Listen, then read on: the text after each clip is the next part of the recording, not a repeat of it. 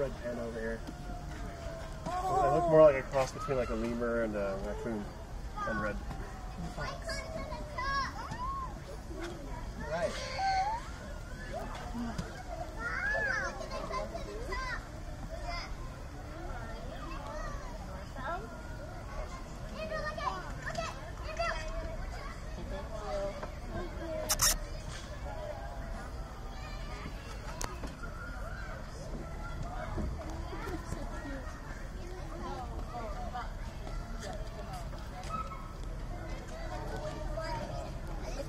Used to never be able to see them.